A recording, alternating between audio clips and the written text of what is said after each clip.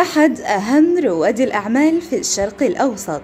تاسع أغنى رجل في مصر بثروة 240 مليون دولار. من عائلة مصرية عريقة بالشرقية ترجع جذورها لشبه الجزيرة العربية. جده كان مقرئ للملك فاروق. صنفته أنستاتيو شانيل لينفرستور ضمن أفضل الرؤساء التنفيذيين في الأسواق الناشئة. في أوروبا والشرق الأوسط وإفريقيا في عام 2020 إنه رجل الأعمال المصري أحمد أحمد صادق السويدي واحد من أهم بنات العلامات التجارية في الألفية الثالثة. ولد السويدي في عام 1964 تلقى تعليمه بمدارس حكومية والتحق بكلية الهندسة جامعة القاهرة. التحق بعد تخرجه بشركة السويدي إلكتريك عام 1986 وهو العام الذي يعد البداية الحقيقية للشركة في مجال التصنيع حيث بدأت بصناعة الأسلاك والكابلات الكهربائية. ومنذ ذلك الحين تدرج السويدي بالشركة تحت رعاية أبيه الذي حظى بحبه وشغفه في هذا المجال حتى وصل إلى منصب الرئيس التنفيذي عام 1997 بدأت الشركة منذ هذا العام بافتتاح مصنع جديد سنويا حيث افتتح مصنع للمحولات ومصنع للكابلات الخاصة ومصنع للبلاستيك ومصنع للنحاس.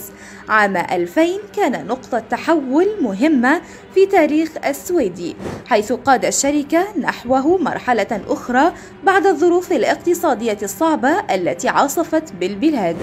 وتصدرت منتجاتها إلى سوريا وليبيا ولبنان والسودان. لتبدأ مرحلة التوسع للشركة في الأسواق الخارجية.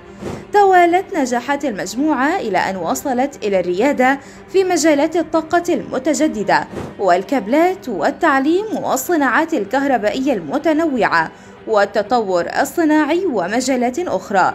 احتل السويدي المركز السابع والثمانين عربيا بإيرادات بلغت 2.76 مليار دولار وصافي ربح 238 مليون دولار. قيمة سوقية تصل إلى واحد ونصف مليار دولار في نهاية 2019 وإجمالي أصول 3.3 مليار دولار لتصنف ضمن قائمة فوربس العالمية لأفضل وأقوى الشركات في المنطقة العربية. تعد إفريقيا هي أرض الفرص الواعدة لأبناء السويدي حيث تعمل السويدي إلكتريك في إفريقيا منذ أكثر من 16 عاما في أكثر من 17 دولة مختلفة وتعد من أكبر شركاء التنمية في إفريقيا وأكثرهم مصداقية واعتمادية في قطاعي الطاقة والبنية التحتية حيث تنفذ عددا من كبرى المشروعات التنموية في إفريقيا. أبرزها مشروع سد جوليوس نيري والذي تنفذه الشركة بالتحالف مع شركة المقاولون العرب بتنزانيا بسعة تخزينية حوالي 34 مليار متر مكعب ومحطة لتوليد الطاقة الكهرومائية بقدرة 2115 ميجا وات كذلك مشروع إنشاء محطة محولات كهربائية بجمهورية الكونغو الديمقراطية بقيمة إجمالها 38.6 مليون دولار بالإضافة إلى مشروعات أخرى في إثيوبيا وأوغندا وبوركينا فاسو وعدد من الدول الأخرى. تمتلك مجموعة السويدي سبع مصانع في إفريقيا لإنتاج الكابلات والمحولات والمستلزمات والإكسسوارات الكهربائية من أجل المساهمة في تطوير الاقتصاد الأفريقي من خلال توفير فرص العمل التي تمثل أحد أهم ركائز التنمية المحلية في الدول الإفريقية. يمتلك السويدي فكرا استثماريا متطورا ومنهجا متقدما في إدارة المشروعات يعتمد على تنمية العنصر البشري وتعزيز كفاءته. فهو من قال الاستثمار في البشر الرهان الرابح للمستقبل. ترجم هذه المقولة في إنشائه لأول وأفضل أكاديمية للتعليم الفني المتطور.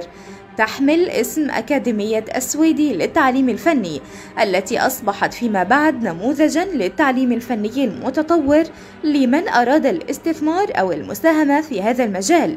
يؤمن أحمد السويدي بأن النجاح الاقتصادي دائما ما يحتل الأولوية عن السياسة لأن الوسيلة لتطوير الأمم ومساندة الشعوب بعيدا عن الحياة السياسية التي غالبا ما يسيطر عليها الشعارات أكثر من العمل هو النجاح الاقتصادي. على الرغم من أن قسم من عائلة السويدي يمارسون السياسة منذ فترة طويلة وهم أعضاء وسياسيون بارزون إلا أن أحمد السويدي شغله الشاغل هو تحطيم الأرقام القياسية. استطاع أن يقود مجموعة أسويدي إلكتريك من شركة متخصصة في صناعة الكابلات إلى مجموعة متكاملة تعمل في مختلف القارات وتصدر منتجاتها إلى 110 سوق حول العالم. تمتلك أكثر من 22 منشأة في 15 دولة حول العالم. يعمل بها عشرات الآلاف من العمالة داخل مصر وخارجها. وتعتبر واحدة من أهم العلامات التجارية المصرية على مدار التاريخ. صنفتها فوربس ضمن أكبر وأهم 100 علامة تجارية في المنطقة العربية. ووضعتها أموال الغد على قائمتها ضمن أفضل 50 شركة أداء السوق المصرية على مدار أربع سنوات متتالية.